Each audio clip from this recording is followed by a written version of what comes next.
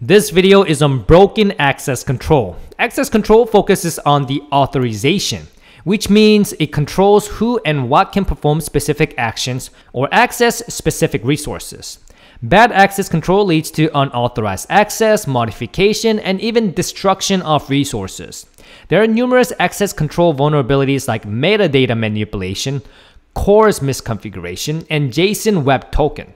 These can all be handled by a proper access controls.